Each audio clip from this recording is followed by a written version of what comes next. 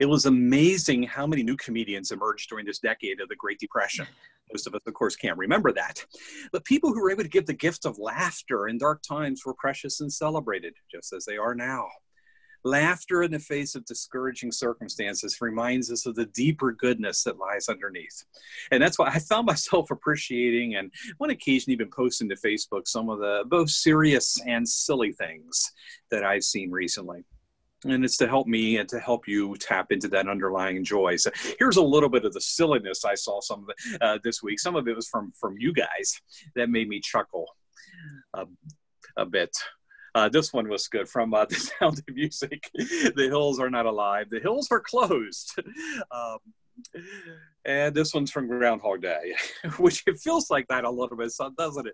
It's quarantine day again. We're going to redo this all over again. Uh, you notice that I like these from movies. From The Princess Bride, Quarantine. Quarantine is what brings us together today. And no, I'm not making fun of speech impediments. I just love that movie. And uh, one of you posted this one because we're in an era now of face masks and uh, what the different face masks say about a person. And I was particularly fond of the bottom where right hand corner there. the person who shouldn't be allowed out of the house. Uh, fortunately, I haven't sunk quite to that level yet. Well, in our times with you here, thank you so much for tuning in and doing church this way. We've been doing more of our serious stuff, despite the silliness with which we sometimes begin a message.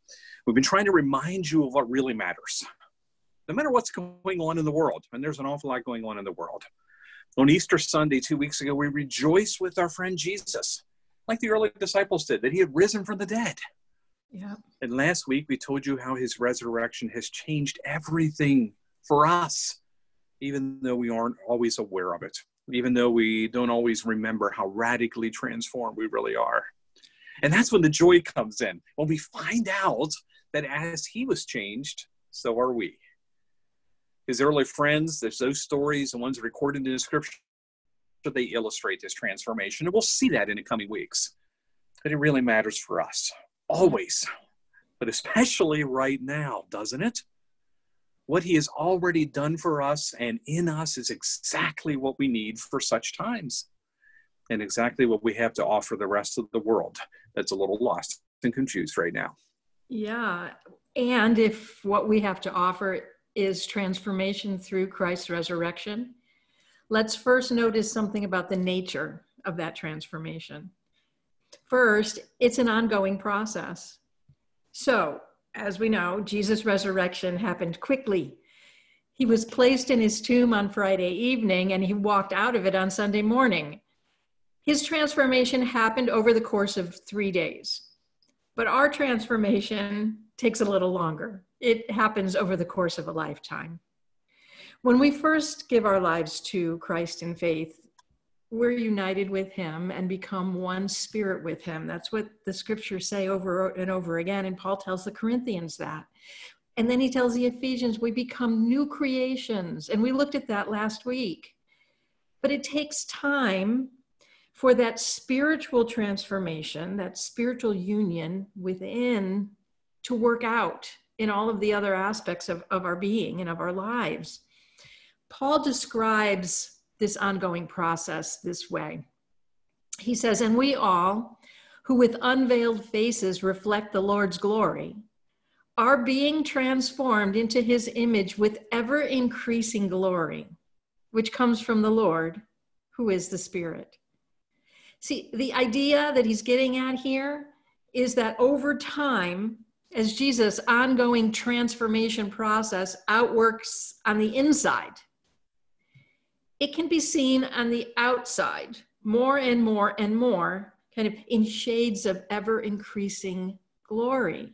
Mm. You think of it like a dimmer switch. Um, as this process of transformation continues inside of us, the very presence, the very image, the very the glory, the tangible presence of Christ can be seen shining through our lives in ever increasing intensity, ever increasing brightness. It's like you go over to the wall with the slider of um, the dimmer switch and you just ever so slowly just push it up, up, up. That's the idea here.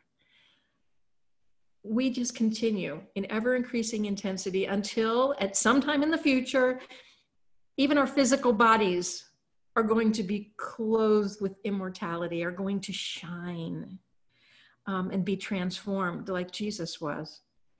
But this trans- this process, well, it's not automatic. It's, it requires something something of us. And that's because Jesus' transformation is also yeah. an indwelling partnership. He is in us, and we are in Him, living life together. You know, when I was younger, I imagined my, my faith as something I had to do on my own. Uh, God was waiting for me or looking for me to get my act together. And what good news! Good news means gospel, gospel, to discover what was true all along that the Spirit of Christ is in me, doing life through me in partnership with my own will and my own desires. And yeah. together as active partners, we cooperate together to change me from the inside out mm-hmm. so that I am increasingly transformed into the character of Christ. Right. And then through that changed identity, through that shared union with Christ, the transformation process then unfolds, it becomes an unfolding purpose. There are so many Christians today who believe that once they have a personal relationship with God through, through Christ, and once they discover their individual gifts and callings, and then they go and do those things, that they've arrived. That, wow, I've come to the fullness of God's purpose in creating me. And I want to say, um, no. All of that personal reality about me and Jesus, you and Jesus, individual callings, individual gifts, all of that personal reality is true. You're not going to get any, any argument from me there. But there's so much more because each person's individual God given purpose is simply one strand of the fabric of the eternal purposes that God is outworking in the whole world, the whole creation through all time and history. And so, what is then? What is this purpose that God is unfolding, not only in you and me, but in all of us? Well, again, we keep going back to Paul, but Paul clearly said that what the purpose is this is what God planned for the climax of all times to bring all things together in Christ, the things in heaven, along with the things on earth. See, that's what's been happening ever since the cross and the resurrection of Jesus, ever since he started to unfold this, his purposes in this ongoing process. It's the process of reconciliation, the reconciliation of all things as one in Christ, as God originally intended. And that's good news. But there's, again, like Tony was saying, gospel, good news that every one of us matters in God's unfolding purpose. We matter both individually and especially together as the church. And this is good news. It's good stuff. But what does this look like practically in the real world of mm-hmm. unemployment and fear, and isolation, division, social distancing, sheltering in place, all those words that we're using now that we never used before, and the experiences we're having now that we've never had it before over the next few weeks, we're going to flesh this out in a variety of ways. But today, we're going to notice that Jesus comforts. Yes. Now, number of us are going to just nod our heads in agreement with this. This is the Jesus we have met. This is the Jesus we encounter in Scripture. But you know, some others might struggle a bit. And if you're responding to that, you're not alone here because somewhere along the way we've been given a different image, and this is a wonderful opportunity to change that image. This is good news because Jesus had been comforting people throughout his whole life. Yeah. And it's really no surprise that after his resurrection, he does the same thing. That's who he was, that's who he still is. But now, because of the resurrection, his friends are able to receive and respond to his comfort differently than ever before. Yeah. And we are his friends. He began with those first friends, those early friends, as he does with all of us, by meeting them exactly where they were. So, where were they emotionally and spiritually? in the days and weeks after the resurrection? Well, as we've been trying to point out, in many ways, they are right where we are right now. They were living in confusion and ambiguity, experiencing what felt sometimes like opposite things at the same time. Yep. It was simultaneously experience a great trauma. They watched their friend die yep. and also great grace. They felt both grief and joy. And they had lost and then they have found, but they haven't reconciled these emotions yet. This is all raw and new. Right. They knew both fear and peace, which sounds contradictory unless you've been there and you know what that feels like. And we'll see in the stories they express both doubt and hope. And um, I'm just curious. Any of that sound familiar? It does to me. it does to me. so each week in this series that we're starting today, we're going to be exploring some biblical accounts of Jesus' post resurrection appearances. And as we do, we're going to be watching as Jesus joins his disciples where they are and then invites them into the transformation process so that they can join him where he is. And because everything happened so quickly, he gave them time to adjust. He just stayed for 40 days to experience to allow them to experience some healing of their past pain so that they would be able to welcome the future hope so this week as we notice this first part of jesus transformation process we'll look at the beautiful story of jesus comforting his dear friend mary magdalene as she wept outside his empty tomb beside herself with grief. Let's read the um, account from John's Gospel. Mary arrived back at the tomb, broken and sobbing. She stopped to peer inside, and through her tears, she saw two angels in dazzling white robes sitting where Jesus' body had been laid, one at the head and one at the feet. Dear woman, why are you crying? They asked. Mary answered, They have taken away my Lord, and I don't know where they've laid him. And then she turned around to leave, and there was Jesus standing in front of her, but she didn't realize that it was him. He said to her, Dear woman, why are you crying? Who are you looking for? Mary answered, thinking he was only the gardener, Sir, if you've taken his body somewhere else, tell me, and I'll go and Mary. Jesus interrupted her. Turning her to face him, she said, Rabboni, Aramaic for my teacher. And Jesus cautioned her, Mary, don't hold on to me now, for I haven't yet ascended to my to God, my Father. And he's not only my Father in God, but now he's your Father and your God. Now go to my brothers and tell them what I've told you, that I am ascending to my Father, to your Father to my God and your God. Then Mary Magdalene left to inform the disciples of her encounter with Jesus. I have seen the Lord, she told them. And she gave them his message. Well, that's the story. Let's unpack this a little bit and maybe see a little bit of Mary Magdalene in ourselves. What was it like to be Mary that weekend? Well, maybe the best word for it is to say that she was adrift. She was disoriented, confused, traumatized.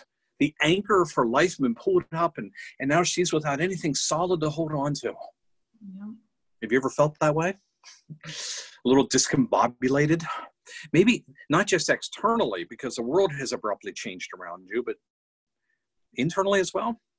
Perhaps a feeling that you've lost all meaning in life, that you don't even know who you are anymore, or what is real.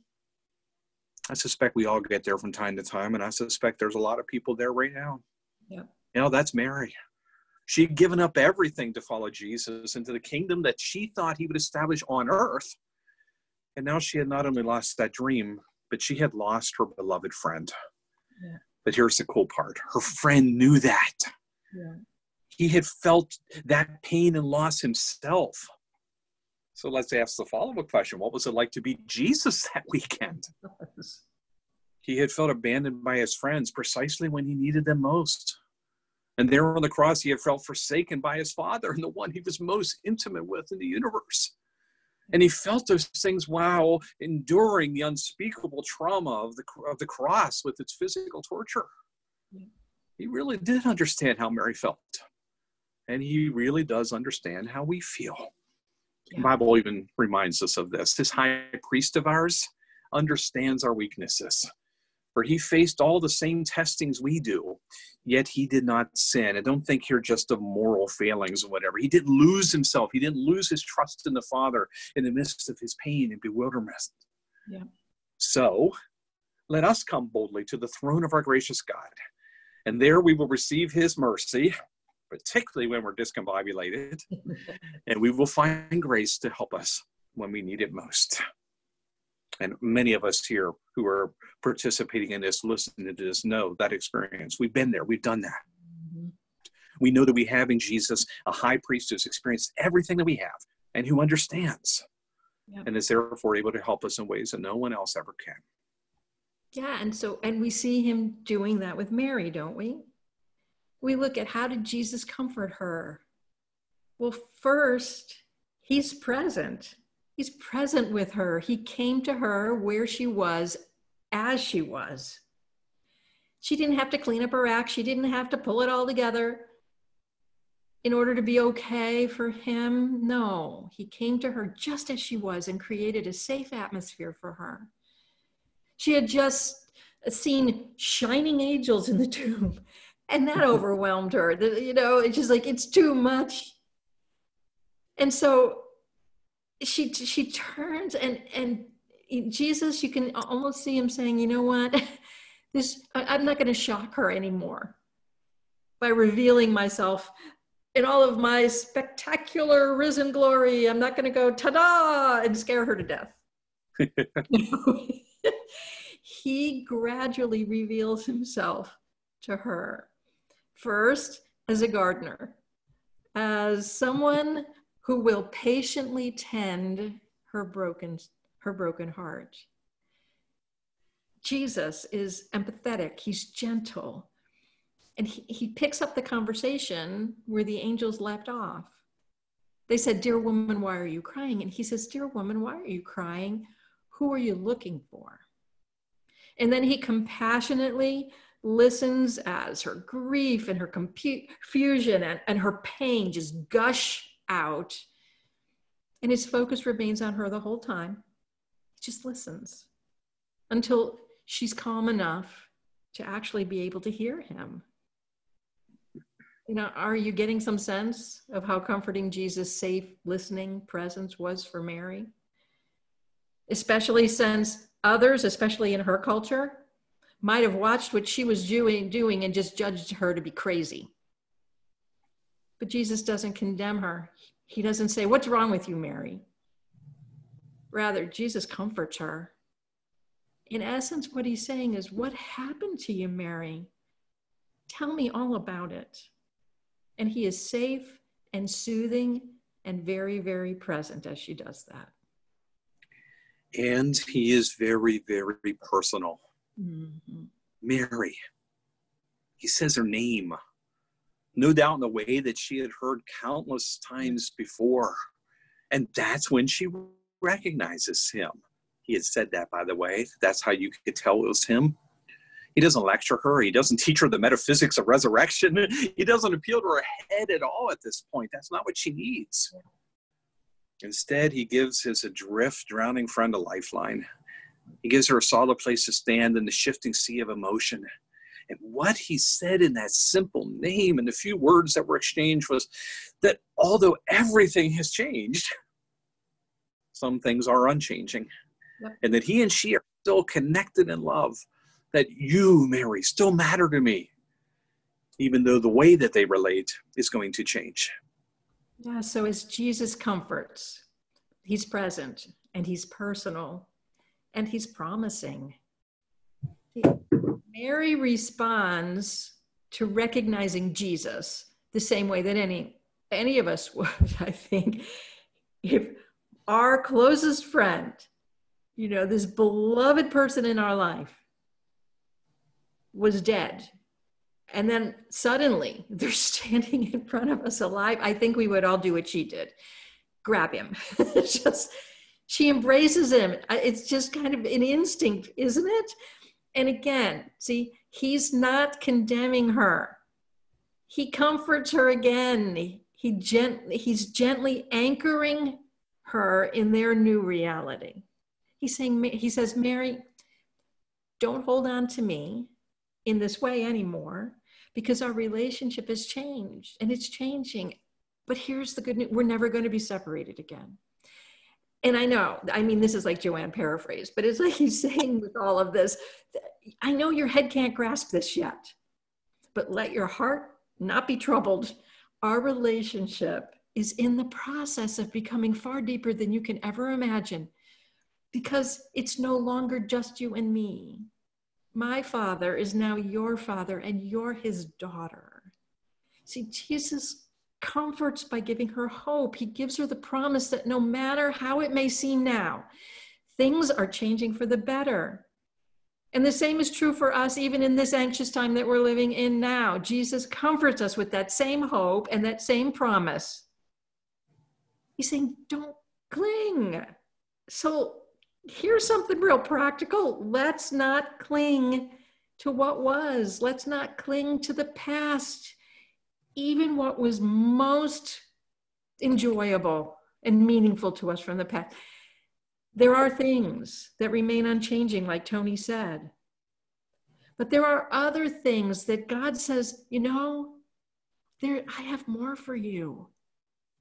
So let's hold on to what matters in every given moment. And when he says let go of something, then that's the invitation to hold on instead to a hope filled promise that one day, not too long from now, we're going to understand more clearly the purpose that God is unfolding in our lives right now.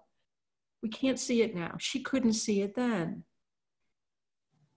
But in time, oh my word to let go of what he asks us to let go of allows our hands to be open to receive the more that he has for us.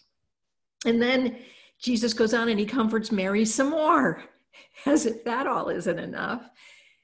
He then he gives her something to do now that'll allow her to share in that hope. He tells her to do something that no woman would ever have been asked to do before that. He says, yeah, Go bring this message of my resurrection and my ascension to my brothers. And what's fun is um, that's the first time that Jesus calls the, the male disciples brothers. And so Mary did. She went and she told them, I have seen the Lord. And listen, as an eyewitness to the risen Christ sent by him with a message for the disciples, Mary Magdalene became the first apostle she became living proof that Jesus' process of transformation was already unfolding and that it wasn't only for him, that it was for her and it was for all of us. So Mary comforts, Jesus comforts Mary in a way that is present to her and personal to her and promising to her. And what did she do in response? She didn't recite a creed she didn't even stop like the first Mary and pondered these things in her, in her heart. There's a time for all of that, of course. But in that moment, all this was too unexpected and too wonderful.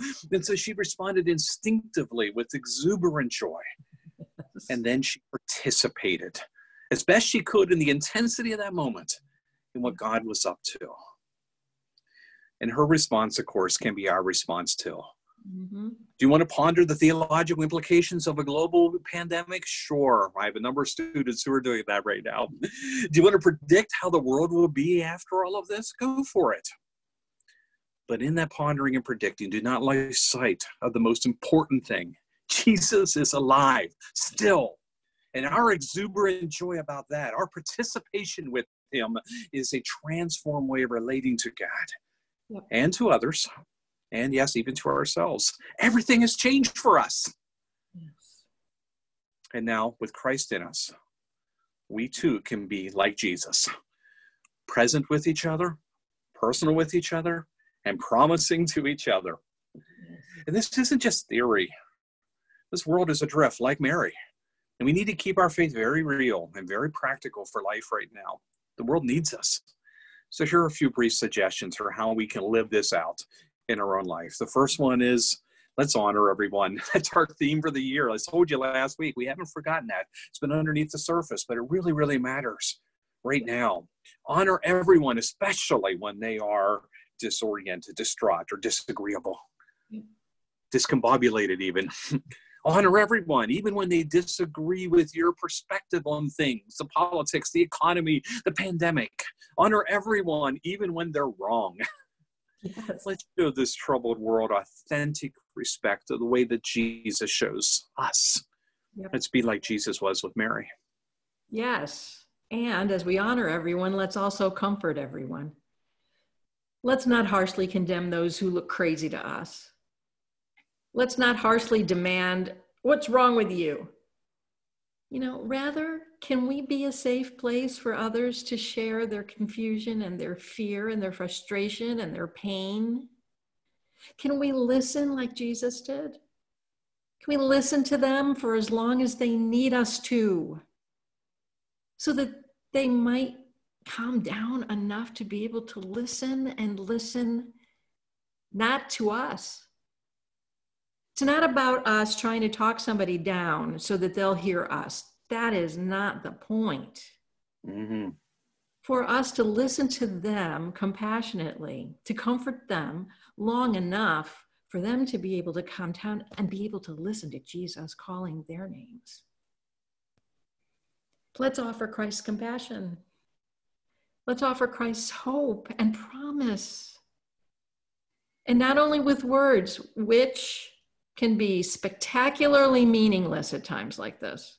Mm-hmm. Words just, they fly by, just like they were with Mary, with any traumatized person, with any people who are in this state of being so adrift. No, it can, the words can end up being meaningless. What we offer is not only words, sometimes yes, but let's offer what we have actually received God's comfort. We offer what we have already been given by God. 2 Corinthians 1 4, He comforts us in all our affliction. Why? So that we may be able to comfort those who are in any kind of affliction. Yeah, let's comfort everyone and honor everyone. Yeah. Yeah. Let's include everyone in that comfort because yep. everybody's invited. Jesus made it clear everybody's invited to this participation and this new creation, this new thing that he's up to. Even Peter, who had denied him. We'll get to that story in a, a little later. And um, and the women too. As Joanne said, if the male disciples are his brothers and the female disciples are his sisters, they're all family of the mm-hmm. same Father. And we're going to see in the coming weeks that the group of Jesus' disciples, friends, brothers, and sisters is going to expand to include far more than they had ever imagined. So let's do the same in our own perspective, in our own heart. Let's invite the whole broken world into this marvelous kingdom that God is creating through Jesus. Yeah, those, yes, Hosanna. Let's invite them all into the marvelous kingdom. Yeah. And some of you may be thinking right now, okay, sounds good. How is it possible? How can I be that kind of honoring, comforting, including person when I'm struggling to maintain my own balance in the world right now? Well, there's good news for all of us who feel adrift, like Mary was at the beginning of this story. When we're adrift, we can be anchored. And what is that anchor? Hope that the economy is going to rebound soon. Is that our anchor? Oh, I know what it is. Tony, I know what it is our anchor is confidence in doctors and political leaders, right? Yes, they'll oh, never leave. what about bravado that, oh no, I'm not going to fear the virus. It won't affect me. no, we have a better, stronger, more permanent anchor than any of that. We have Jesus. And Jesus is inviting us to transformation precisely in this moment when we don't have a clue what's going on. Mm, and we don't. But we too can participate. In the most fundamental, life transforming way possible, we can choose to trust Jesus. Yeah. In ever increasing ways. And this is the core, this is the ongoing imitation of our spiritual lives. It's what the word faith really means. Yeah. But here, more good news. It's not all up to us. This isn't like scrunch up your your face or flip a, flip a switch and suddenly you you start trusting. Even this is done in partnership with the Spirit who dwells within us. Yep. But I tell you, when we begin to trust in a love that is so deeply personal and so powerfully healing, it's the love of Christ, we do find it possible to stop clinging to the past. We do find it possible to surrender through that love, as we've been talking about in recent weeks. And then we can even trust what we do not understand. And much of everything that is going on now, we do not understand. We can trust that over time, it will make sense. Yep. Or even if it doesn't, yep. we can trust the ongoing process. We can trust that indwelling partnership. We can trust that enfolding purpose that we, we noted at the beginning of this message, which means we can also trust the invitation to take the next step. Even if it's just one step and we can't see where the journey is going to lead and we can't see any further than just the one step, to take the one step and trust that Christ is there in us, with us, for us trusting that just the next step forward when we can't see or control the whole journey, that's transformational faith. That's what we get to do. Yes. And it changes everything. Yeah. So that's all true. But we want to close our time together by inviting you to allow this this truth to speak, you know, not only to your heads, but also to your hearts and to your spirits and to your lives. We want to invite you to allow the living word, both the living word of Scripture and the living word of Jesus Himself, to become as real for you as He was for Mary Magdalene.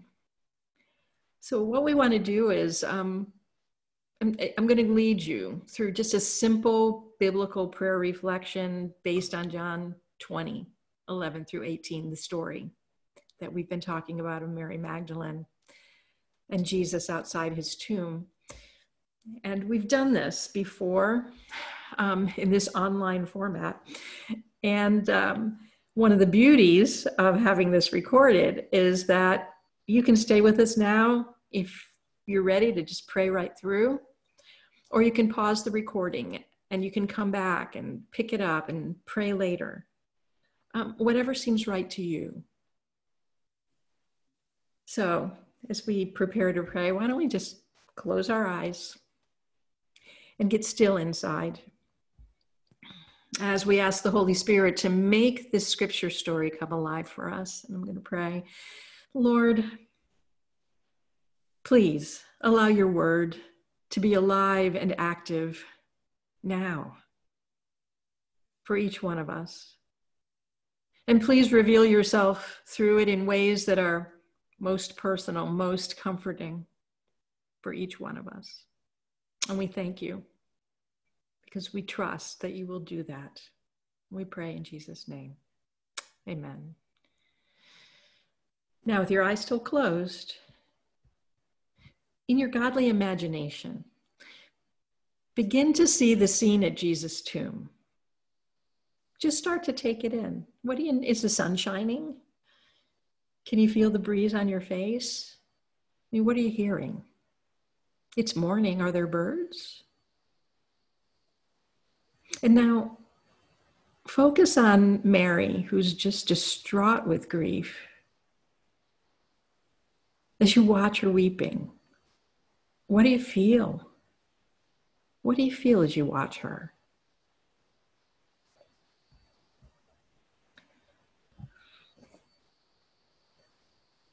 Now, see Mary bend down to look into the tomb.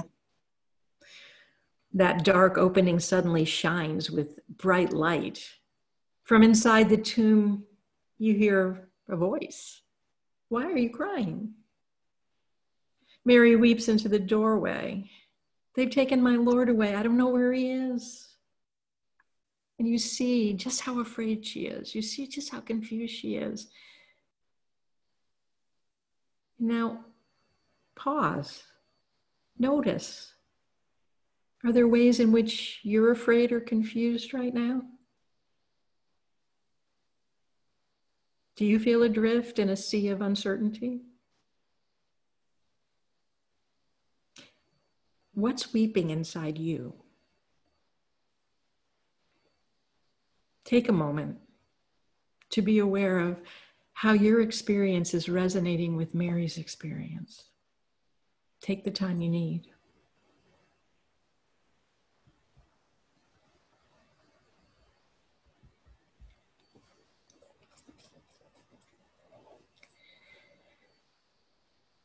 And feel free to pause anywhere along the way. Pause the recording.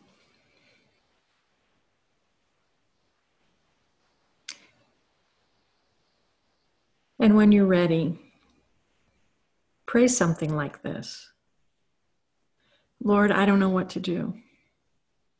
I'm confused, afraid, I'm disappointed, I'm frustrated. Just tell him whatever it is, just how you are.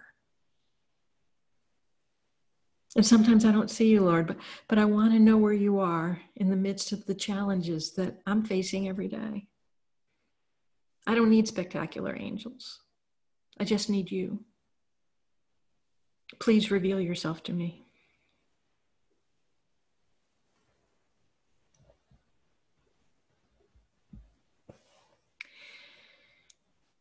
And now you turn your attention back to Mary. She turns to run away from the tomb, but someone's standing in front of her. He asks her tenderly, Why are you weeping? Who are you looking for? And she doesn't seem to recognize who it is. She just keeps her head down and she continues to pour out her pain. And she's asking this man over and over again to tell her, Where is Jesus' body? I just want to go get him. I just want, I just need to know where he is. As you watch her, what do you notice in yourself? Have you ever been or are you now that desperate to be in control of the circumstances of your life? Do you feel any of that desire to just have control over something right now? Or have you ever been so disoriented you just need something tangible to anchor you in reality?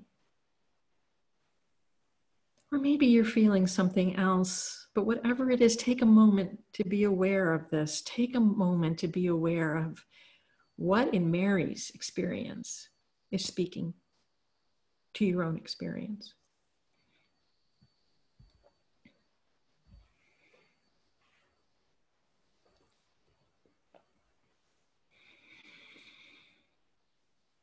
And again, take as much time as you need. But when you're ready, pray something like this Lord, I feel out of control. I don't understand what's happening, and it's hard not to know where this is going and what the outcome will be. I sometimes find it difficult to believe you're really with me. Please, I need your comfort. I need to sense somehow that you're still with me, even when I can't feel it. Thank you for being the patient gardener of my soul who listens to me with such compassion and love.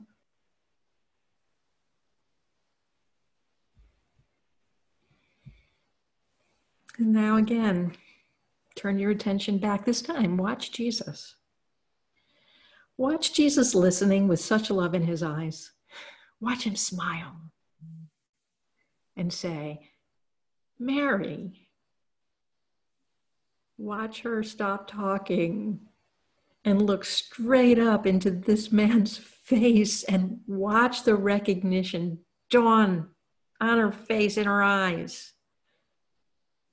My teacher, she cries and she grabs hold of Jesus and he laughs and he gently steps back. You don't need to hold on to me like this anymore, Mary. Mary, it's okay. Just let go. Now, as you watch that scene unfold, again, what's happening inside of you?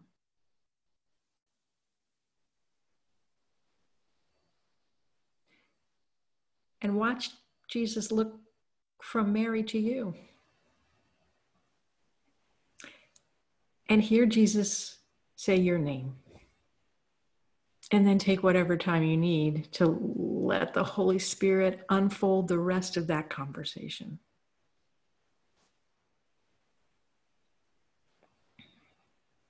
And when you're ready, pray something like this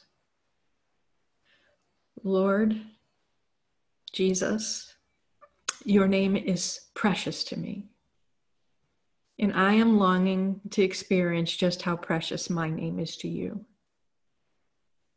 Please speak my name again and again. Speak it in love, speak it in comfort, speak it in hope, speak it in peace. Speak it so often that I come I come to know you as you know me and help me to experience your presence. Help me to experience your presence always, especially in times like this.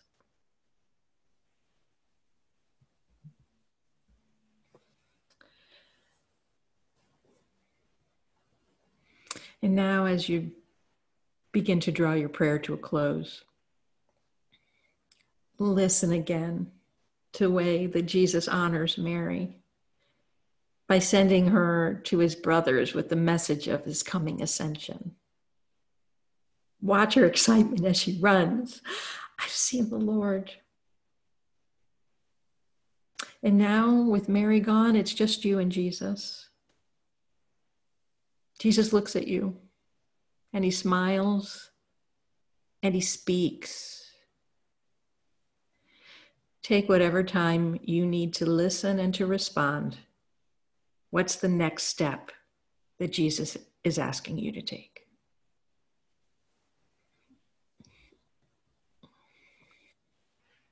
What a comfort this is, isn't it? It's for real. It's good. I hope you experienced a bit of that. I hope you heard Jesus or the Father calling you by name in that meditation. This is what he's been up to. It's what our God's been up to all along. Seven centuries before Jesus, God spoke to the prophet Isaiah. And in the language of the old King James Version, he said, Comfort ye my people. Yeah. Speak tenderly to Jerusalem. His people then were in distress, as we are now. And we have far more comfort to receive, even than they did, because we have Jesus. Yep.